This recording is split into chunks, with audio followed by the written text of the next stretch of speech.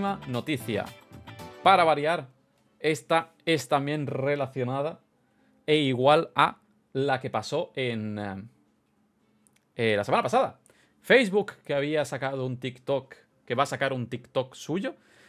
Uber Eats lanza una funcionalidad como si fuera una aplicación de TikTok dentro de Uber Eats. se están rayando, tío. Se están rayando, se están rayando.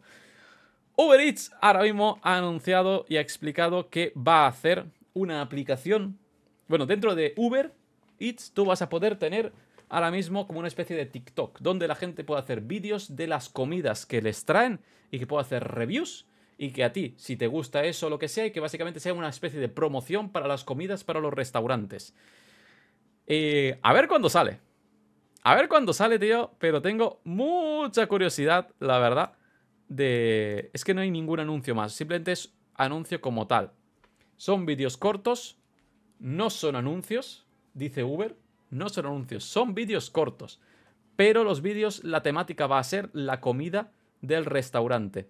Esto ayudará a los managers de los restaurantes que ponen aquí, ¿vale? Básicamente a los gerentes de los restaurantes que puedan ayudar a promocionar sus platos. Es decir, yo ahora mismo me voy y pido un kebab y me grabo un vídeo comiéndome el kebab y haciendo una review del kebab. Ese vídeo lo pongo en Uber Eats TikTok para que la gente cuando se ponga a buscar ese kebab le salgan probablemente los vídeos de ese kebab y digan, hostia, este producto, a ver cómo es.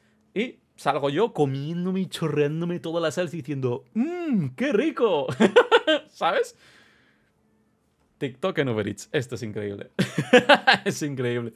Es increíble. Tú, cómo se están rayando. Lo están metiendo por todas partes, tú. De verdad. A ver. A ver qué hacen. Cuando salga lo, lo veremos, tío. Cuando salga lo veremos. Me apetece analizar aplicaciones también, ¿eh? Así que a ver qué pasa. Lo haremos, lo haremos.